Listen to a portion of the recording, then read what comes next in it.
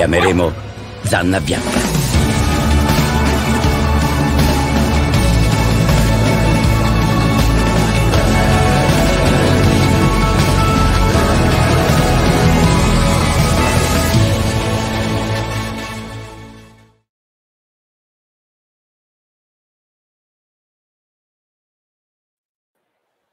Buonasera, buonasera a tutti. Eccoci qui per una presentazione di questa rassegna sul cinema d'animazione d'autore che eh, ha organizzato appunto Mio Cinema con dei titoli veramente di grandissimo livello. Eh, siamo qui con Lorenzo Mattotti, che è il regista della famosa della famosa invasione degli orsi in Sicilia, eh, grande artista, illustratore, disegnatore, fumettista, che si è dedicato per qualche tempo a, a questa impresa eh, molto grande.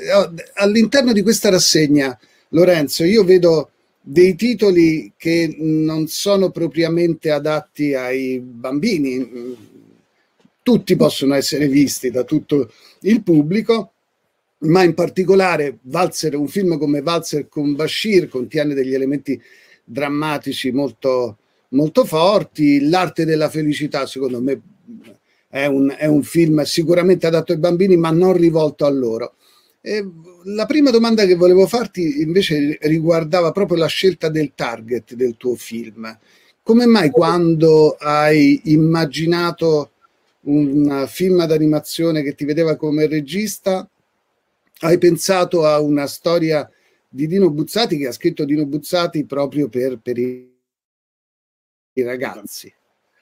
Ma perché mm, ma sì, la, la, la, mia idea era quella proprio di fare un film per bambini. Il, eh, io quando mi è stato chiesto cosa volevo fare, se avessi avuto la possibilità di fare un lungometraggio, avevo in testa questa storia di Buzzati. Um, ce l'avevo in testa da, un, da, da, tanto tempo, l'ho fatta leggere alla mia produttrice e eh, non, mi è, non, mi sono neanche posto il problema di fare un film per gli adulti in animazione. Uh, eh, volevamo con la mia produttrice volevamo prendere un grande pubblico volevamo già partire pensando a un pubblico vasto, quello delle famiglie e quello, e quello dei bambini.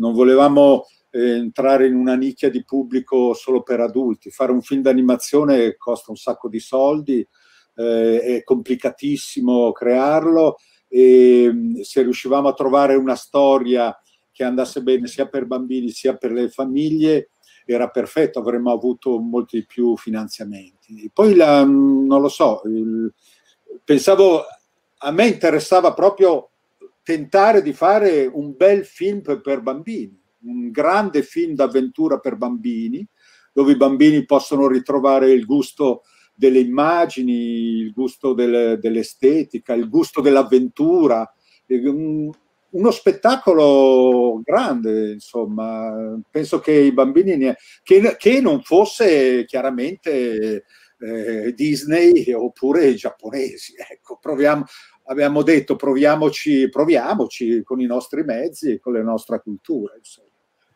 per cui la, la, mia idea era proprio, e tutte le discussioni del film sulla sceneggiatura, su, su come dei dialoghi e tutto, era ehm, era indirizzato a, a, questo target, insomma, se ci sono dei, dei giochi di sceneggiatura, se ci sono delle cose, era sempre pensato ma i bambini riusciranno a comprenderlo, non è troppo complicato, come lavoriamo con la morte, insomma, eh, abbiamo veramente pensato a loro.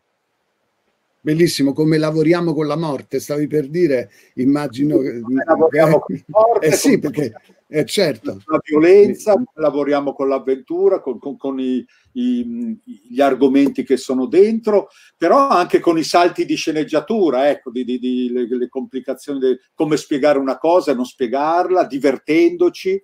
Eh, certe volte ci sono dei, delle soluzioni, potrei, può darsi anche un po' semplici o, o divertenti, che, no, che forse il, il, pubblico adulto le guarda con distacco, dice ma è sempre eccetera. Però noi volevamo fare proprio un film per, per loro, insomma.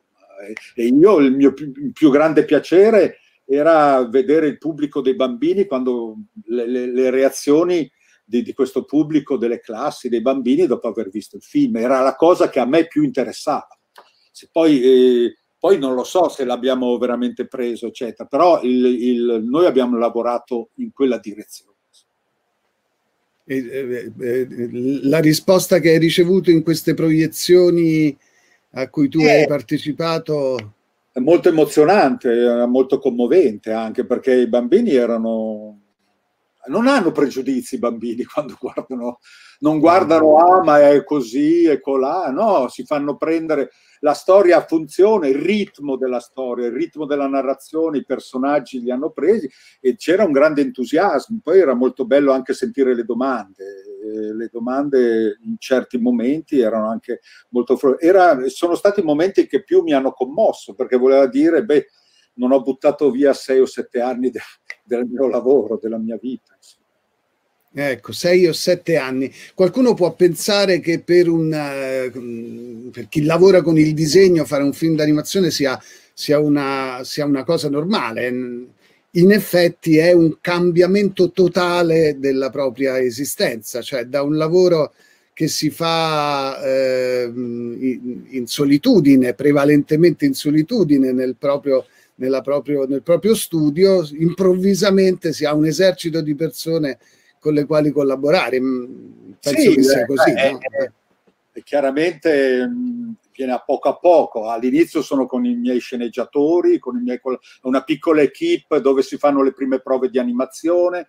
Eh, io faccio tutti gli schizzi, è più limitato, ecco, però c'hai collaboratori, lavori con gli altri. Il problema è che sei obbligato a parlare tanto, devi spiegare agli altri quello che tu dai per scontato nella tua testa. Quando disegni non è che ti ti spieghi molte cose, disegni, fai e se funziona funziona, se no no. Però agli altri devi spiegare, devi spiegare cosa hai nella testa, le, con le parole, con i segni, con i disegni, parlare, parlare, spiegare molto ai tuoi collaboratori affinché possano tirare fuori veramente quello che hai nella testa, insomma, cercare. Insomma. Ti...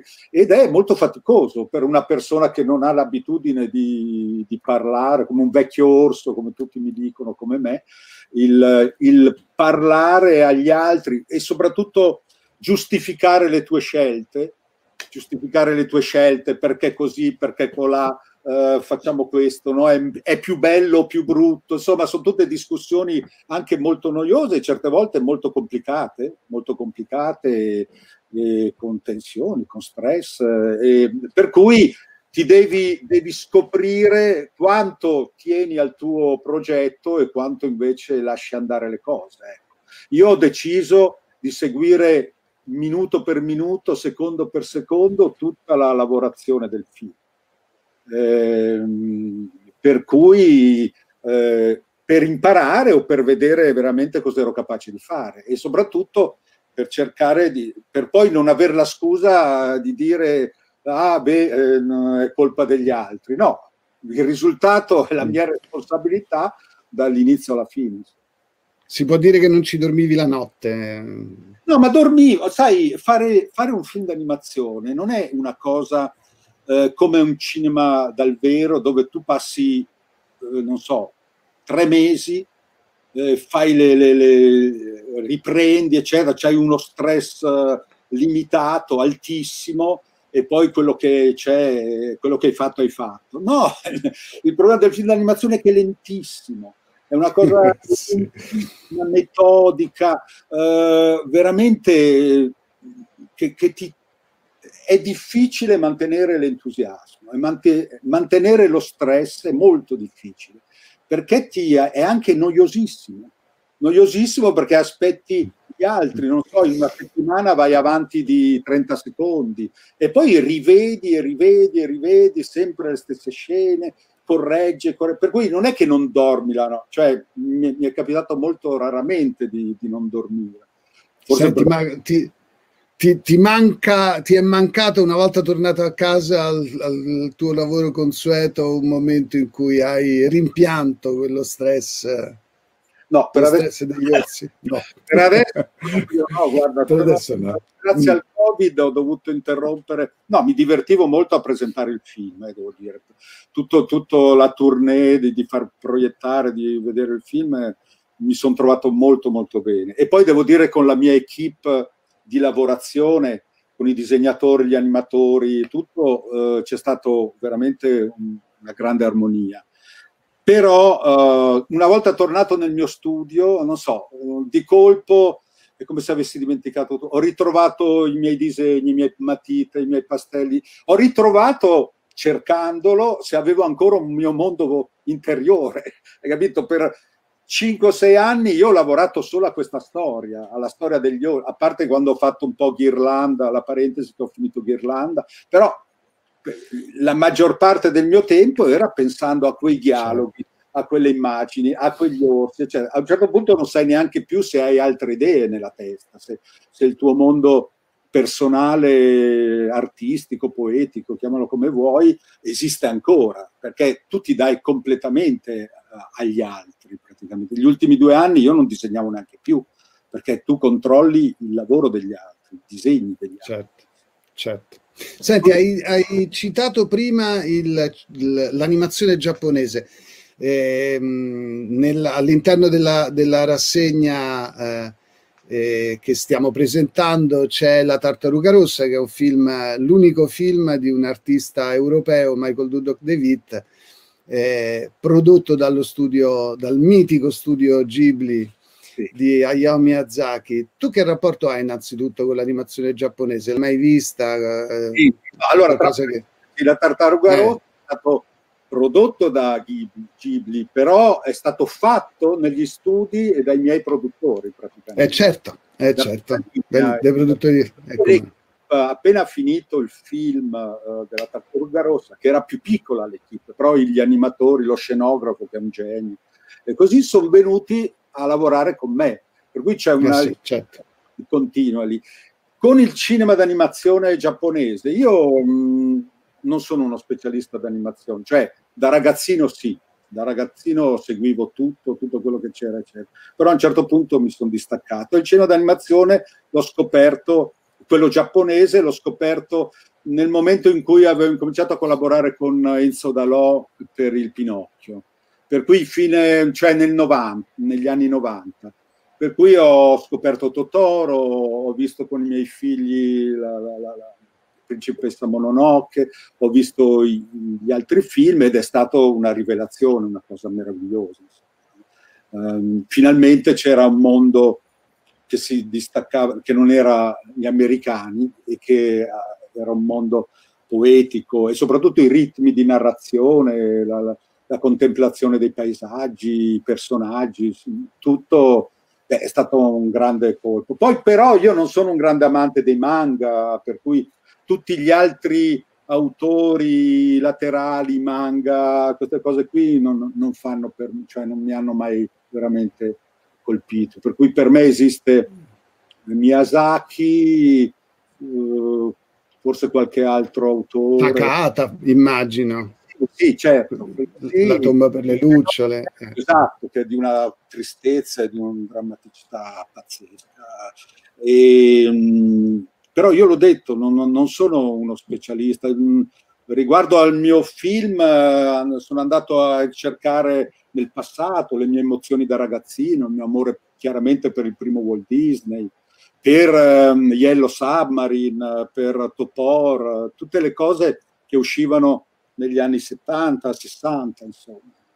Per cui... Ci sono, ci sono delle scene nel tuo film di una bellezza veramente straordinaria, vera- anche per chi ha guardato, anche per chi ha guardato, insomma, come il sottoscritto, eh, tanti, tanti film d'animazione. Io l'ho visto per fortuna sul grande schermo sia nell'edizione francese che in quella italiana, dove devo dire c'è una presenza di Camilleri che è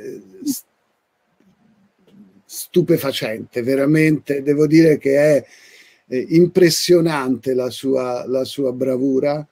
Eh, di tutti gli attori, eh, però magari uno mh, mm, non immagina che uno scrittore possa... Eh? Una cosa lì di Camilleri. Vero? Come siamo riusciti a farlo, come anche tecnicamente, cioè è stato veramente un miracolo. O, o, la, mm. o andava o, o, non andava. Eh, cioè, eh, poi... sì, eh, sì, non è che è andata di più, no, è una cosa... Eh. Siamo andati lì, una piccola troupe, lui non voleva Come neanche... posso aiutare? Mm. Non voleva neanche farlo, aveva paura di stancarsi molto, allora abbiamo pensato tecnicamente una piccola equipe, gli abbiamo chiesto ma se veniamo da te eh, non ti disturbiamo più di un'ora, un'ora e mezza, il testo non era molto lungo, con un microfonista, con la, con la direttrice del doppiaggio, e siamo andati lì, lui ripeteva, essendo cieco appunto, gli aveva messo delle cuffie, ripeteva il testo che gli dava Ludovica Modugno nella, nella cuffia e lui lo ripeteva benissimo tra l'altro, però era lentissimo. No, non avendo i labiali, non vedendo le immagini, lui andava a ruota libera come andava. Poi abbiamo avuto il problema di tagliare qualche parola, aggiustare, eccetera, e, e, poi sembra che noi abbiamo disegnato i personaggi sulla sua voce, in effetti no, è stato veramente un miracolo anche di sì. Sì. Grazie anche ai tecnici proprio del, dell'audio, bravissimi. Senti, voglio farti questa domanda perché è troppo curiosa. Poi mettiamo che domani lo studio Ghibli chiama Lorenzo Mattotti dandogli carta bianca per un nuovo progetto. Eh, Lorenzo Mattotti che cosa risponde? Risponderei prima metterei, do, dopo l'esperienza che ho fatto, metterei le mani avanti per dire di, di, di, di difendere la, proprio, la, propria zona e di farmici pensare. Insomma, farmi... non, ho, non, ho, dei veri progetti, ho due o tre cose nella testa, ma non so se, se possono andare bene. Io poi io non sono un organizzatore di produzioni, non, non sono capace di tirar su soldi, per cui non, No, proprio, o, c'è, o, c'è, qualcuno veramente che si occupa di tutto questo e mi danno poi la possibilità di lavorare dentro, oppure io non ci provo neanche. Insomma, è una, è una fatica enorme. Bisogna, bisogna, veramente. Io ci credevo agli orsi abbuzzati, era un progetto veramente a cui credevo tantissimo e non vedevo altri progetti. Poi, certo, ho pensato al barone mh, rampante di Calvino, c'è la versione di Dr. Jekyll e Mr. Hyde che mi affascinerebbe molto, la mia versione. Però eh, ho molto, anche Ghirlanda, perché non fare un, un, un, film in bianco e nero solo di linea diventerebbe un film molto poetico, però ci devono essere produttori che rischiano, che non hanno paura, poi eh, insomma sono tanti soldi. La, il film d'animazione se lo si vuole far bene è, è molto costoso. Eh, io ho visto ultimi due o tre film che hanno avuto anche dei premi, delle cose così, ma forse sarà il mio occhio ormai che guarda solo le cose tecniche. Dopo aver fatto un film per sei anni, guardi tutte le cose molto tecniche, no? Ti, ti, ti cade l'occhio su una cosa, un'altra. E, e il livello tecnico, devo dire, è, adesso è molto facile fare dei film, però tecnicamente sono, certe volte sono un disastro, sono, sono, sono, tempi lenti perché devi riempire il tempo, no? perché non hai gli animatori, gli animatori che devono far muovere i personaggi, allora i personaggi sono lentissimi, c'è un lavoro di compositing molto basso livello, eh, però il problema è che il, il, contenuto diventa la cosa più importante in assoluto, no? il soggetto. Se è un soggetto serio, engagé, politico, così va benissimo tutto, eccetera. Poi però è come lo metti sullo schermo. E a me interessa proprio quello, cioè il linguaggio del cinema e come porti un, un soggetto profondo, così, però come lo porti al pubblico. Trovo che in certo, questo quindi... periodo ci sia un po' questo problema. Allora ti dico, costa, costa tanti soldi fare un grande film, un bel film d'animazione. Eh sì certo. Ma quindi non è escluso il ritorno all'animazione? C'ho proprio una grande, non ho neanche voglia proprio. Eh, mm. Però io non dico mai, mai dire mai, insomma. Mm. Beh, quello che succede peraltro al maestro Miyazaki, quando finisce un film, sì, cade, eh, cade in un momento... Sì, lui però è un animatore, cioè ci sono i registi animatori che eh, evidentemente è come me che sono un disegnatore, io non posso stare senza disegnare, però è, animare è tutto un altro lavoro. Io non sono un animatore come base, per cui se fossi un animatore probabilmente mi sarei già messo lì a pensare a un nuovo, a un cortometraggio. Cortometraggi forse c'è la, più la possibilità di farli. Eh. Beh, sì, Però certo, certo. come animatore ti metti lì, cominci a disegnare, cominci a pensare alle sequenze, eccetera. Io come disegnatore penso casomai più alla pittura, al disegno libero, ai miei quaderni, o forse alla prima storia a fumetti. Eh. Ti dirò che quando sono stato a, a Tokyo a intervistare Miyazaki per Salsa il Vento, ho fatto una terribile domanda al suo capo animatore dicendo come deve essere bello lavorare per Miyazaki e lui mi ha guardato con un'aria di compassione totale, come se fosse di fronte a un nerd che non aveva capito nulla della vita, effettivamente non avevo capito nulla della vita.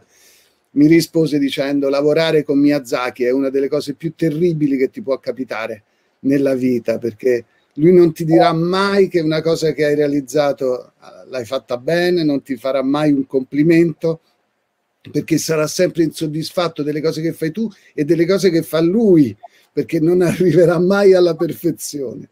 Tu ti sei mai ritrovato in una situazione psicologica del genere?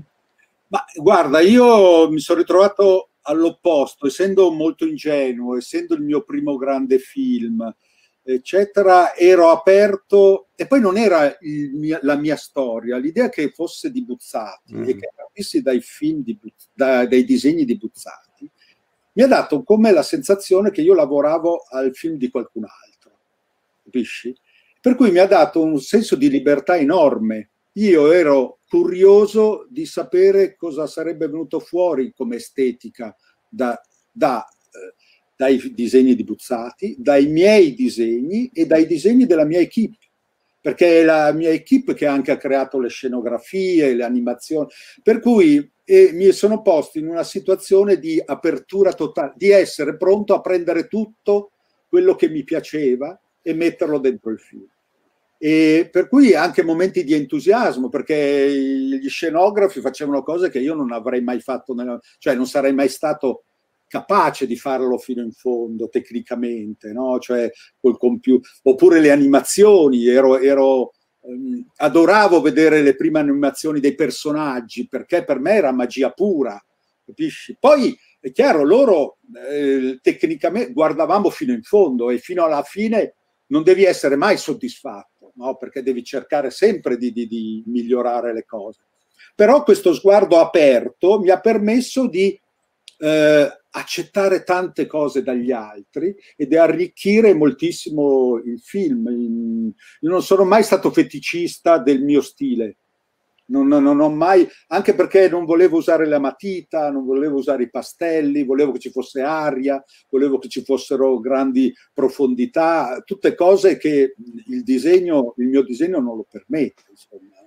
E, per cui questo film è nato proprio nell'insegna della grande collaborazione con gli altri e con l'esperienza poi di, dei, dei, miei collaboratori, evidentemente. C'era il mio uh, capo assistente che, che era, era, capace di vedere de, delle, degli sbagli all'interno delle animazioni che solo un mago riesce a vedere, cioè gente che vede l'invisibile capisci? Hanno un'esperienza incredibile nel vedere un salto di animazione, un qualcosa, un pixel che salta, una roba, un livello di, di sguardo e di attenzione al lavoro che io assolutamente non ho. Per cui capisco Miyazaki con tutta la sua esperienza, evidentemente è un grande regista che va fino in fondo. Io, io ero, utilizzavo un linguaggio che non era il mio, e, e, dovevo imparare. Adesso probabilmente, forse la seconda esperienza, sono più attento ai pixel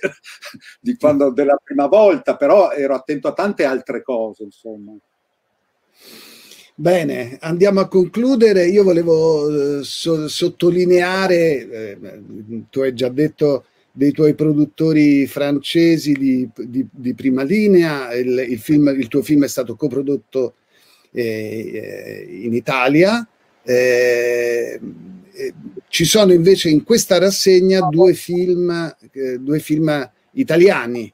Eh, uno è un bellissimo cortometraggio, lo Steinway, e l'altro è L'arte della felicità di, di Mad Entertainment, la, la, casa di produzione napoletana che ha esordito con, con questo film di Iraq eh, molto, molto, molto particolare anche per le sue tematiche. Insomma, di solito appunto l'animazione è considerato un, un, uh, un linguaggio per, per, bambini, ma è, è bellissimo invece vedere dei film straordinari che, eh, che affrontano tematiche che peraltro ai bambini possono interessare moltissimo, anche ai bambini interessa conoscere l'arte della felicità. Tu l'hai visto per caso, Lorenzo, questo... questo... pezzi, mm, ho conosciuto loro, eh, ho visto dei pezzi, ma non ho, non, non ho visto tutto, tutto il film. Benissimo, e quindi, e quindi, anche tu avrai la possibilità con, questo,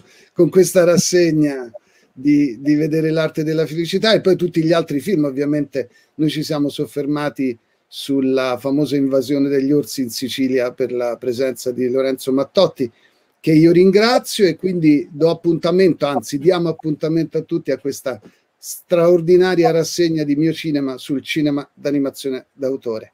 Grazie mille per l'attenzione. Grazie. Grazie.